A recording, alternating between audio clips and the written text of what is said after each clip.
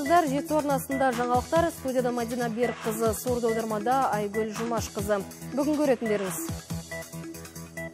Биыл жастарға жан жақты қолдау көрсетіледі. Бүгін елбасы жастар жылын салтанатты түрде ашып атқарылатын ауқымды істерді атап өтті. Мемлекеттік қызметшілер шамадан тыс жұмысқа жегілмеу керек. Мемлекеттік қызмет істері департаменті арнайы рейд өткізіп, 8 сағаттық жұмыс кестесінің сақталуын тексерді. Жас мамандардың адами қасиеттері басты назарға алынады. Мемлекеттік қызметшілерді жұмысқа қабылдау жүйесіне өзгерістер енгізілді. Қазақстанның ең орасан жетістігі қазақстандықтардың жаңа буыны. Бүгін елордадағы Нұр әлем павильонда өткен тәуелсіздік ұрпақтар атты шарада елбасымыз осылай деді. 2019 жастар жылын ақ батасымен салтанатты жағдайда ашып берді үкімет мүшелері, парламент депутаттары, жергілікті атқарушы орган басшылары, Қазақстан Республикасы жанындағы жастар саяси кеңесінің мүшелері, жүз жаңа есім байқауының жеңімпаздары, болашақ бағдарламасының түлектері, елдегі ең дарынды жастар қатысқан бас қосуда президент жастар жылында атқарылар ауқымды істерге бағыт бағдар нұсқады. 2019 жастар жылы шымылдығы ашылды жарқын жаңалықтардан шашу шашылды. Елбасының идеясы еді жарлығын жақсы істерге ұластырмақ жыл иелеріне өзі жария етті. Басты қағида бәрі де жастар үшін. Ең ірі қалаларда жылына бір мың пәтерден салынады. Арендалық қызметші жұмысшы жастар тұрады. Үкімет жастардың бастамаларын қолдайтын арнайы қор құрады. Стартап жобаларды ірі бизнес компаниялар мен олигархтар қаржыландыруы тиіс. Жас кәсіпкер бағдарламасын әзірлейді. Оларға бөлінетін грант қаржысы екі есеге артады. Ол ол ма президент жас ғалымдарға бөлінетін гранттарды 3 миллиард теңгеге арттыруға пәрмен берді. Microsoft'ta Bill Gates 20 жасында. Apple компаниясын Стив Джобс 21 жасында. А бізде жаңа айтып отырмыз 13 жасында екінші курста оқып жатыр кбту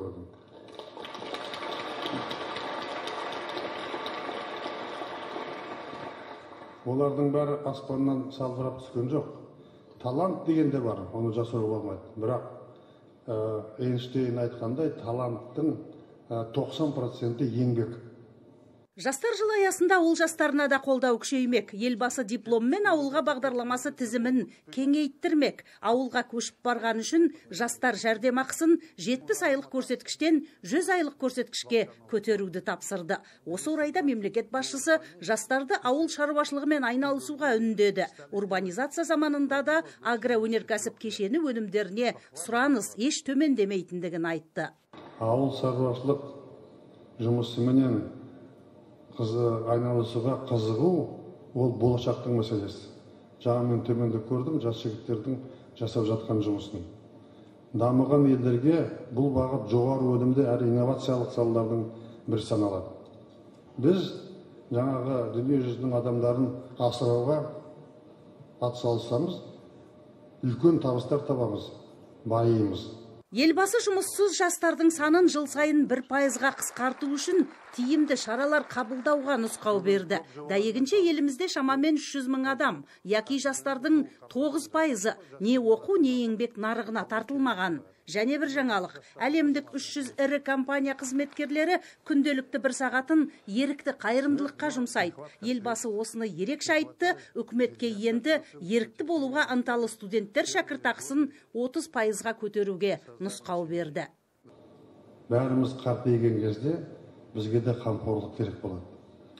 Сондықтан еліміздің жарты миллионға жуық мысалы студент жастары үкімет емес ұйымдармен бірге мұқтаж жандарға елеулі көмек көрсете алады әлеуметтік министрлігіміз бар бізде үйлерінде жалғыз отырған қариялар бар ешкімі жоқ. Магазинге барып нан алып келетін шаруасы жоқ дәрігерге баратын шаруасы жоқ. Солардың тізімін алып анда санда бір барып қалың қалай ата деп кетсең батасын алсаң бәрімізге жақсы емес па қысқасы жастар жылының жаңалығы көп жаманы жоқ. Басқосуда сан саладан тоғыз жаста сөйледі. Ең кішісі 13-те ең үлкені 27 жаста. Толымды істерін паш етті ұтымды ұсыныстарын айтты. Мәселен вифрейм бірлестігінің жетекшісі расул абдуллаев. Елімізде әзірге еш мемлекетте жоқ маркетинг министрлігін құруды сұрады. Қазақстанның халықаралық аренада ребрендинг жасауына жол ашады дейді. Ал жас ақын мерей қарт елімізде әдебиет академиясын ашуды өтінді. Ұлттық аударма бюросының атқарушы директоры рауан кенжеханұлы қазақстанда әлемнің жетекші оқу орындарының курстарын қолжетімді ететін астана ашық университеті құрылатындығын хабарлады. Аударма саласындағы жетістіктерін де айтты. Бүгінгі таңда дүние жүзінің ең беделді деген ғалымдарының әлем бойынша миллиондаған данамен таралған келесі 30 оқулығы қазақ тіліне аударылып болып қалды. Бұл оқулықтар да таяу арада басылып жаңа оқу жылынан еліміздің студент жастарының қолына тиеді. Елбасы мінбеге шыққан әр жасты тына тыңдады жолай жастар ұсыныс талаптарына қатысы бар үкімет мүшелері мен әкімдерге шұғыл тапсырма да беріп отырды. Соңында жастарға рухани құндылықтар елге жерге махаббат тақырыбында ақыл кеңестерін берді. Бағыт бағдар нұсқады батасын берді. Осы қолға алған тың жобаларды іске асыру үшін үкімет те президент те әкімшіліктер де жергілікті министрліктер де бірігіп жұмыс істейміз. Осы әңгіменің жол картасын жасап үкіметте бекіту керек та жариялау керек. Сіздерге күш қайраттарың егемен еліміздің болашағына жұмсайтындарыңа кәміл сенемін.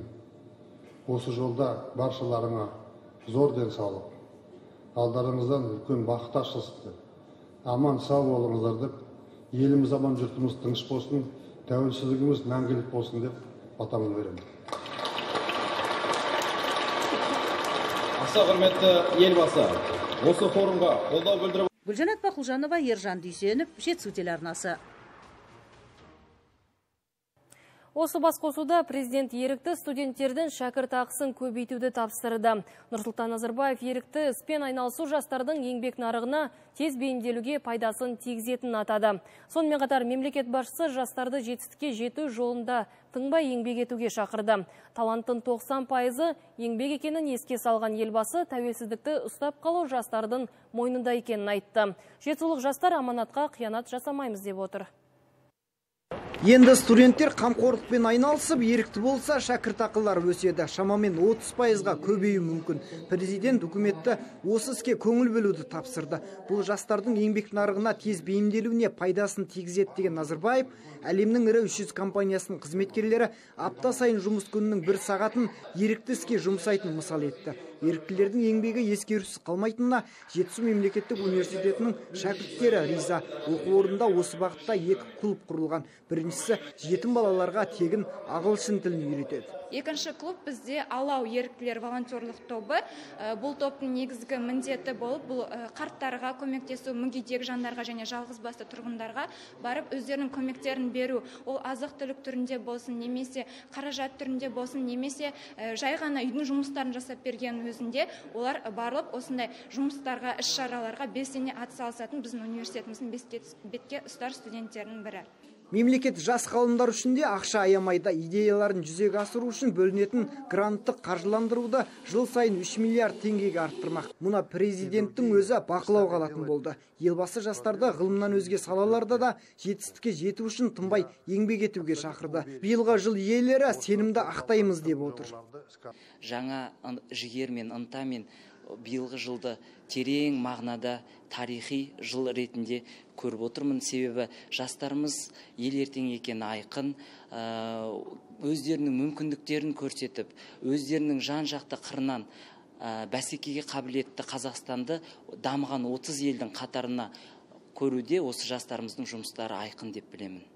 Президенттің жастармен кездесуін жетісу арнасының жас журналисті мәрлен несіпбергенов онлайн арқылы тамашалады. Оны әсіресе елбасының қазақстанның болашағын жастарға сеніп тапсыруға болады деген сөзі тебіренткен. Үлкен жауапкершілікті сезінген жас тілші әркім өз саласы бойынша отанға үлес қосу керек дейді. Өзінің жоспары журналистиканың нағыз майталманы атанып аймақ арнасының дамуына атсалысу. Әр жас өзінің оқыған тоқыған еңбек еткен жолында өзінің орнын қалдыру керек деп ойлаймын. Мен де осы жетісу телеарнасында өзімнің қолтаңбамды қалдырғым келеді. Болашақта мықты тележүргізуші журналист болғым келеді дегендей кім біледі? Бәлкім басшы болғым келетін шығар. Оның бәрі енді өз ішімде. Себебі металлургтың өзі президент болған дейді ғой. Журналисттен ол шықпасын кім кепіл қысқасы таяқ жерге тасталды жастар жылы басталды. Бұл жаңа мүмкіндіктерге толы жыл. Бұл әр жастың сеніммен өмір сүретін жақсы істер атқарып жұрттың батасын алатын жыл. Мұхит тоқтасын қайрат қазтұрғанов жетісу талдықорған. Батысқа лесемін деп ата-баба салтын ұмытуға болмайды. Жастар жылында жас буынға айтылған басты аманат осы. Президент тәуелсіздік ұрпақтарына заман көшіне лесемін деп өткен тарихты, текті ұмытпау керектігін жеткізді. Ұлттық тәрбиені көріп, бабалар өнегесін біліп, өскелең ұрпаққа келешегі зор болмақ тәрбиенің алтын діңгегі отбасы. Ондағы құндылықтарды жас буын санасына сіңіру аса маңызды. Осыдан қарттар үйіндегі қарияда тастанды жетімдерде болмайды деді елбасы. Ұлт болашағы үшін тәрбиеге күш салу қажеттігін жүктеді.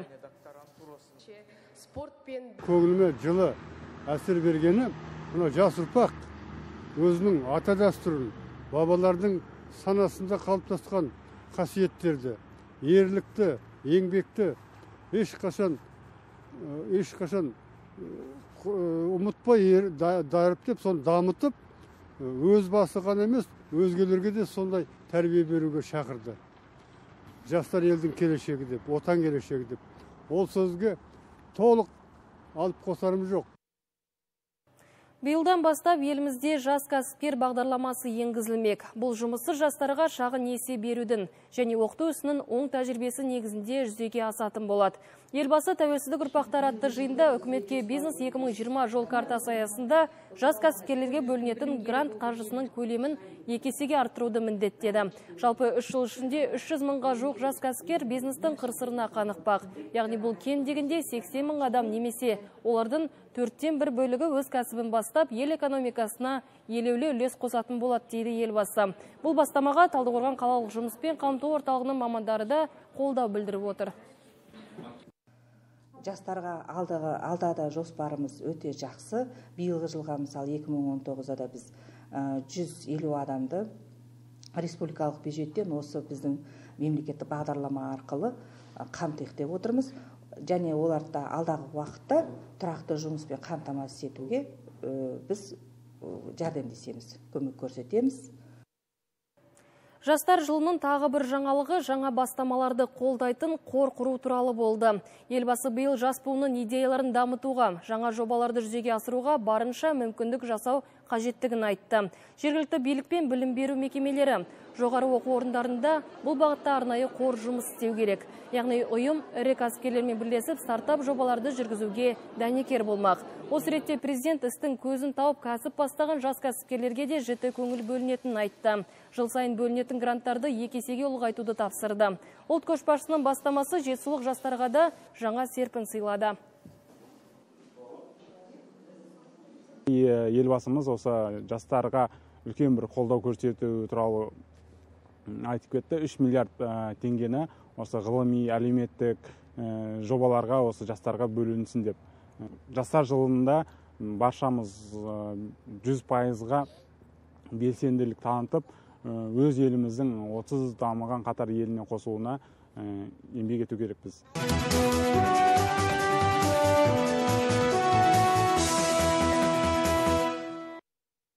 Мемлекеттік қызметшілер 8 сағаттық жұмыс тәртібін сақтауы қажет. Облыстық мемлекеттік қызмет істері департаменті өкілдері арнайы рейд жүргізіп, мекемелерді аралап шықты. Кешкі алты жарым болса да, кеңседе отырған жұмысшыларды анықтап, ескерту жасады. Мамандар тексерісті алдымен экология департаментінен бастады. Мұнда 8 сағаттық жұмыс тәртібінің сақталғаны байқалады. Көп қабатты ғимаратты түгелдей аралап көрген мемлекеттік қызмет істері департаментінің өкілдері есіктегі күзетшіні ғана көрді. Жұмыс уақытысынан тыс уақытта қалып жүрген жоқ па? Жоқ негізі қалмайды уақытысымен айтады иә. Уақытысымен? Жұмыс уақыты бітісімен? Иә бітісімен.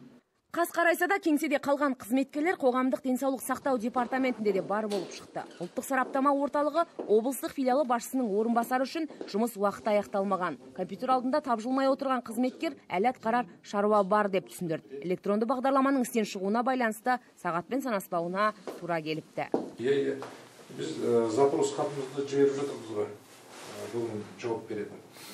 Программамыз істемей электронный программа сет артасет дейді. Соны жіберіп жатырмыз ал бұл жұмыспен қамтуды үйлестіру және әлеуметтік бағдарламалар басқармасының мамандары. Қызметкерлерде үстеме жұмыстың кестесі бар болып шықты. Яғни жұмыс уақытынан тыс еңбек етуге басшылық рұқсат берген. Бізде кәдімгідей бұйрықпен бекітілген сағат сегізге дейін деп. Бұйрығыңызбен танысым болады ма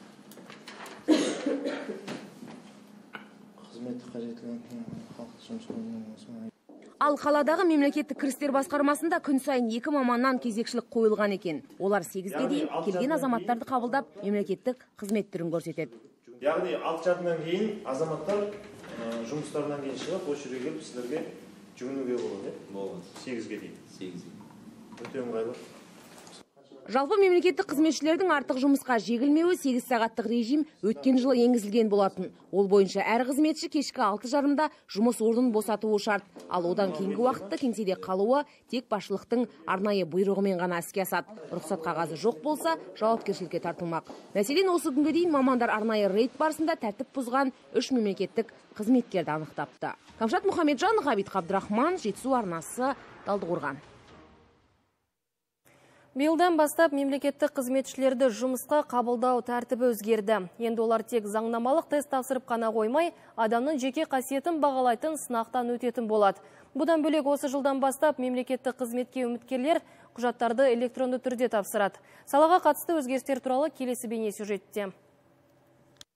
Енді мемлекеттік қызметкер атану үшін заңнамалық тест сертификатынан басқа бірыңғай құзыреттер шеңбері сынағын тапсырғаны туралы анықтама керек. Бұл адамның жеке қасиетін анықтап, бағалайтын жүйе. Яғни үміткерлер 1 сағат 40 минутта 150 психологиялық сұраққа жауап беріп үлгеруі тиіс.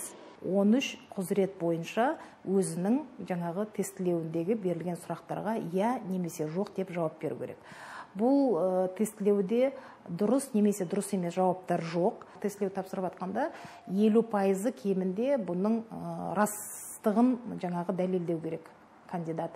Елу пайыздан төмен болған жағдайда бұл тестілеуден кандидат өтпеді деп есептеледі. Оған бір айдан кейін қайтадан тестілеуге кіруге мүмкіндік заң шеңберінде бар. Облыста биыл мемлекеттік қызметкер атануға 25 адам өтініш берген. Оның 18-і ғана сынақтан өтіпті. Солардың бірі Маржан Барлықбаева. Еңбекші Қазақ ауданындағы Масақ ауылдық округі әкімдігінде әдіскер болып жұмыс істеген ол Талдықорғанға ауысуды жөн көріпті.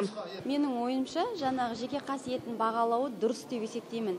Себебі жаңағы адамның білу қасиетін, мінез құлқысын бәрін сол жердегі тапсырмаларға орнықтырған. Және де болашақта әріптестерімен қалай жұмыс істейсің басшымен ойлау қасиетінің барлығы осы тапсырмада кірілген деп өзім ойлаймын Қызметкердің бойындағы қасиеттерді анықтау жүйесін Сингапур және Англия мемлекеттері сынақтан өткізіп, күні бүгінге дейін қолданып келеді. Енгізілген жаңашылдықты заң ғылымының докторы, профессор Сарқытбек Молдабаев та қолдайды. Мемлекеттік қызметті дұрыс, орынды осыны таңдағы көрсету ең бірінші екінші менің ойым бұның өзі бұл жауапкершілікке алып келу. Үшіншіден сол әрине біздің мемлекет қызметкерлердің статусын көтеру. Құзыреттер шеңберінде егер де соның бәрін орындалып келетін болса біздің әрине мемлекеттік қызметтің сапасы неғұрлым жоғары өседі. Сонымен қатар биылдан бастап елімізде мемлекеттік қызметке орналасқысы келетіндер құжаттарын электронды түрде тапсырады. Яғни олар облыс ортағына келіп әуре болмайды. Үміткерлер түйіндемесін эгов е-қызмет сайтына жіберсе болғаны. облысқа мысалы екі рет келу керек болатын бірінші рет ол жаңағы құжаттарын тапсыруға ал екінші рет қайтадан әңгімелесуге келу керек болатын ал қазір осы құжаттарының бәрін конкурстық комиссияға ә, жаңағы электрондық жүйелер арқылы өткізуге болады. Ілесуге бір сағат қалған уақытта соны қағаз түрінде конкурстық комиссияның кадр қызметкерлеріне көрсетіп соның растығын қағаздарын дәлелдеп өткізуіне тиіс. Бұрындары облыстық аудан әкімдік пен басқармаларда бас маман болу үшін бір жарым жылдық еңбек өтілі талап етілетін. Биылдан бастап бұл шарт күшін жойды. Мадина берікқызы қайрат қастырғанов жетісу телеарнасы. Бірыңғай жиынтық төлемнен қорқудың қажеті жоқ. Керсінше бұл өзін өзі жұмыспен қамтығандарға әлде қайда тиімді. Өйткені бұрындары мемлекетке ешқандай жарна төлемеген азаматтар зейнеті қалмайтын. Бірыңғай жиынтық жарнасын төлейтін болса, қартайғанда бейнетінің зейнетін көреді. Бұдан бөлек болашақта ақылы болатын медициналық сақтандырумен қамтамасыз етіледі. Ол үшін айына бір немесе жартайлық есептік көрсеткіш көлемінде салық төлеп тұруы тиіс. Жаңа жүйенің ерекшеліктерін облыстық жұмыспен қамтуды үйлестіру және әлеуметтік бағдарламалар басқармасы мамандары қаладағы таксистерге түсіндірді. Арнайы жаднамалар таратып, бірыңғай жиынтық төлемнің тиімділігін айтты. Көкейтесті сауалдарына жауап берді. Мұндай үгіт насихат жұмыстары енді күнделікті жүргізілмек. көп адам жиналатын жерлерде осындай түсіндірмелі жұмыстар жүргіземіз. Жеке тұлғалар табыс табу мақсатында қызмет көрсететін азаматтарға фрилансер бала күтушілер репетиторлар және жеке қосалқы шаруашылықта жұмыс істейтіндер және, ауыл шаруашылық өнімдерін өткізушілер. Төртіншіден бір жылдағы табыс екі екі миллион тоғыз жүз мыңнан теңгеден аспайтын адамдар төлей алады.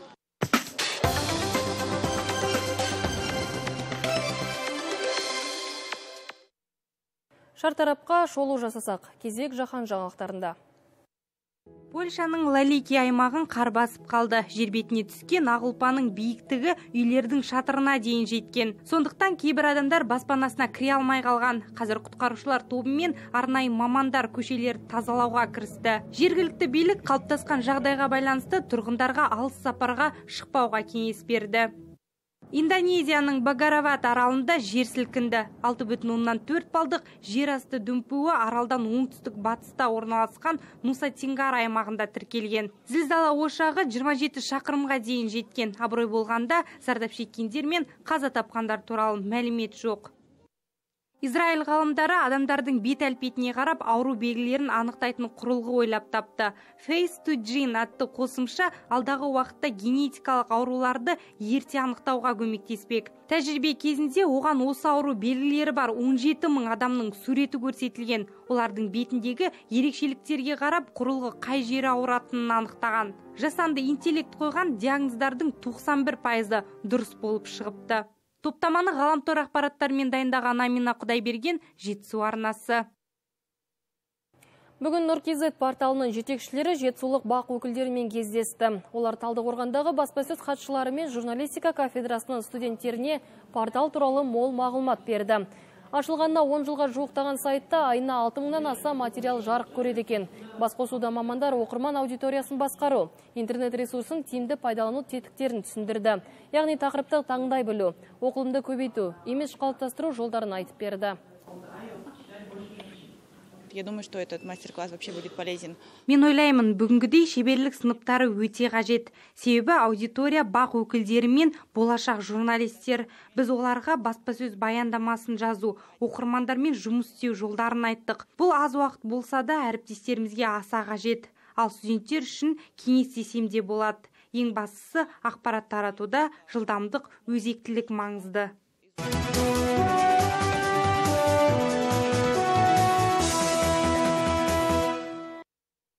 Төртінші ақпанда Шымкент қаласында грек-рим күресінен Қазақстан чемпионаты басталады. Ұлттық құрамаға кіретін балуандар анықталатын бәсекеге Алматы облысынан 10 адам қатысады. Қазір жетісулық балуандар Текел қаласында оқу жаттығу жиынын өткізіп жатыр. Міне, Ғалым Қабдунасаровтың жасы 20-да, салмағы 60 кг. Былтыр өткен Азия чемпионатының жеңімпазы. Елшілік жарыстарда үнемі жүлде алады. Ғалым биылда бабында Құдай бақ берсе, Шымкенттен алтын әкелемін деп отыр. Бүкіл халықтың үмітін ақтасақ деп отырмыз. Жаркент қаласынан көп үміт артып отыр. Үлкен ағаларымыз да, әкеміз өзіміздің отбасымыздан да үміт көп артылуда. Азамат ағайларға, есат ағайларға көп алғысымды айтамын. Көп білгендерін үйретіп, оқу жаттығу жиыны жақсы өтті алматы облысының ерлер құрамасының дені жастар барлығы шымкентте өтетін ел біріншілігіне тыңғылықты дайындалып жатыр. Егер жолдары болып жеңіске жетсе астанада болатын әлем біріншілігіне жолдама алады. Балуандарды елімізге еңбегі сіңген жаттықтырушы азамат көкебаев дайындап жатыр. Өте ауыр жаттығулар жүріп жатыр. Ә, тау жүгіру ауыр ә, зіл темірлермен ә, кілемде жан жақты дайындық. Мүмкіншілігі дейміз ғой орысша айтқанда потенциал бар балалар жоқ емес бар. Енді ол балаларға көп жұмыс істеу керек. Бұл балалардың бәрі жас балуандар да көбі. тоқсан бесінші жылдан төмен қарата тоқсан алты тоқсан жеті тоқсан сегіз. Бұларға өте көп тер керек жылдап жұмыс істеу керек. Шымкентте он салмақ дәрежесі бойынша жеңімпаз анықталатын болады. Командалық есепте бас жүлдеден негізгі үміткер болып алматы облысының саңлақтары танылған. Өйткені жерлестеріміз қатарынан үш рет еліміздің конфедерация кубогын иеленді. Жарқын нұрланұлы айдос қалиев жетісу телеарнасы текелі қаласынан. Бүгінге келіп түскен ақпараттар легі осындай болды. Назар қойып тыңдағандарыңызға рахмет. Аман сау болыңыздар.